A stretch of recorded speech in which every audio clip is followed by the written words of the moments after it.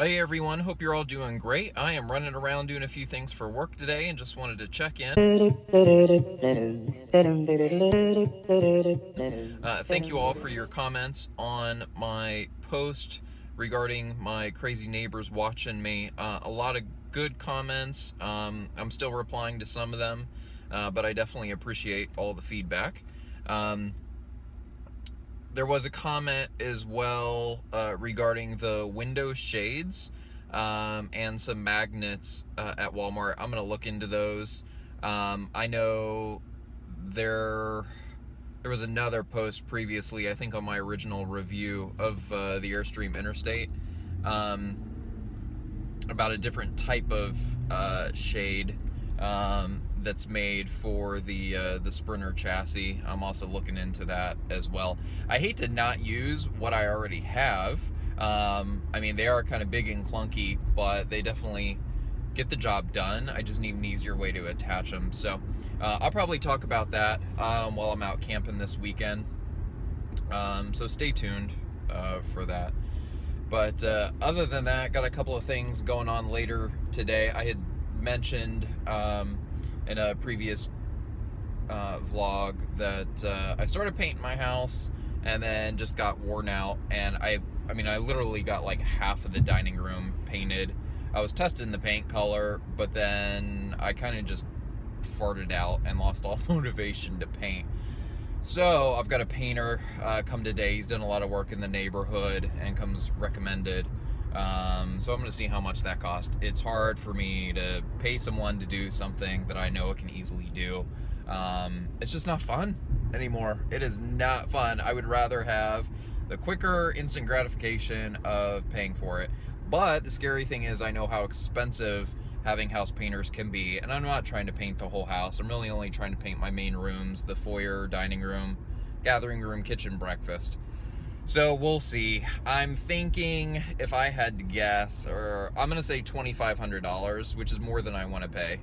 Um, I mean, I would maybe consider half that amount. It's pretty straightforward to painting. I mean, there's I'm gonna move everything, take all the drapes, everything off the wall. I'm basically gonna help him be able to come in and paint. Um, you know, I'm sure he'll put some drop cloths down, but so we'll see. I mean, he's pretty busy, so I'm hoping he's not price gouging everyone. Even if it was $2,500, it's probably reasonable. I had a colleague of mine have her entire whole house painted um, recently, her new house, and that was like $10,000, but that also included painting all the kitchen cabinets, which is a chore. They had to take all the doors and drawers off and, and finish them. So we'll see. Um, you know, $1,500, that might work. And then on top of that, I think I also mentioned um, when I moved into my house a year ago, I opted to have the builder um, just give me more cabinets in the kitchen uh, in lieu of replacing the dead shrubs outside. So now here I am over a year later and I'm looking at the house and you know, it's February, it's gonna start getting warm soon, everything's gonna be start uh, gonna start growing. Um, and the front yard just looks lethargic with shrubs. So I've got one of my um, landscapers that I um, deal with at work. Uh, they're going to stop by my house next week and um, try to sketch something for me. So again, I'm hoping that doesn't wind up being crazy expensive because um, I'm kind of Airstream Interstate poor at this point. So I've got to work on doing my taxes, um, you know, and I know one benefit of having the interstate is that uh, I'll be able to use that as a tax deduction, which I'm looking forward to. Um, so that's cool. I think that will uh, have a greater effect uh, when I do my taxes this time next year in 2018, since I'll be uh, paying uh, interest um, all this year 2017, that I'll be able to deduct some um, really as kind of a second home. So um, that was another reason why I moved forward with an RV purchase. But um, so anyway, I'm still going to try to see today, worst case tomorrow. Actually, tomorrow, no, probably won't work because, well, I'm trying to get the Airstream over to the parking lot um, at the storage facility. So I'll see if I could do that tonight, kind of test it out for the evening. And then my goal is tomorrow, uh, let me switch hands. Um, tomorrow after work, uh, which is Thursday tomorrow um, for me, I will go to storage, pick up the RV, leave my car there in the parking spot, and then have the RV all packed up. No, wait, hold on. Does that make sense? I need to pick up the RV on Friday after work. Uh, maybe I'll forego doing it tomorrow, Thursday, and wait Friday. So I'll drive my normal car Friday to work, go to work, come home, because I have to get spanky. I'm going to have to pack the RV anyway. So I'll get the RV, pack it at the house, and then go to the campground, which is not but 30 minutes away from where I live. Um, so that will be Friday. So I'm going to have a family member who lives nearby um, escort me to the storage place when I drop off the interstate so they can drive me home. Um, and it's maybe not, but about five miles away from where I live. So that's kind of um, the update. So far, I will take a video this weekend um, of the power cord and how the little LED light flickers. I haven't contacted the dealer yet, um, or the local dealer, because uh, they've basically directed me for any warranty concerns at this point. Um, to the local dealer, not my original dealer that I bought the Airstream Interstate from in Ohio and had it driven down. Um, besides, I'm still dealing with them trying to reimburse me for that's a whole nother story.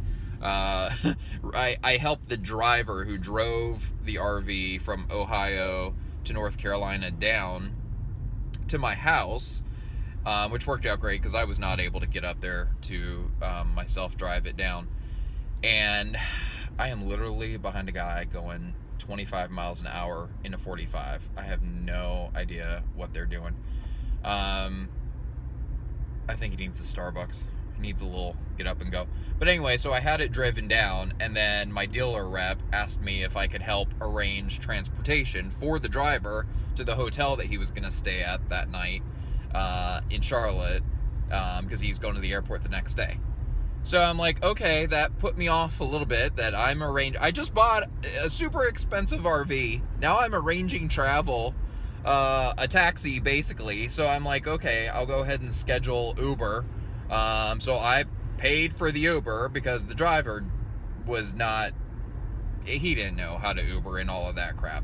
And I did not have the heart to get a taxi, which a taxi was going to be twice as expensive, even though he could have paid out of pocket. I'm like, that just doesn't make sense. Anyway, I probably did more than I should have, and that's what usually gets me in trouble uh, uh, at work, is that I'm doing more than I need to to try to help and instead of delegating. But anyway, um, so the Uber is like $35, not a big deal, but here it is three months later. I still don't have reimbursement um, from the dealer. So I think we're making headway now. I sent him a copy of the receipt again, and they're supposed to be getting it processed.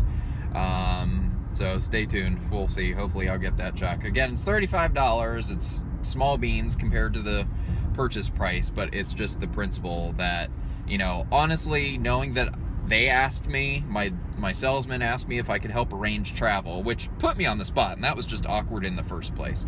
Um, he should have just sent the driver down with a gift card uh, and given me a gift card um, instead of having to deal with all this reimbursement crap. Or it's like, don't write me a check, just freaking send a gift card $50, $100, something um, in good will or good faith that, you know, I went out of my way to help arrange travel. So, anyway, just a stupid little silly thing. I don't understand where these salespeople come from sometimes. Um, anyway, so that's my little rant. Um, but again, as always, uh, leave me some comments if there's anything this weekend you'd like for me to show or test out in the interstate. I will definitely be showing um, the flickering LED in, on the power cord. I also think I need to check the windshield wiper fluid.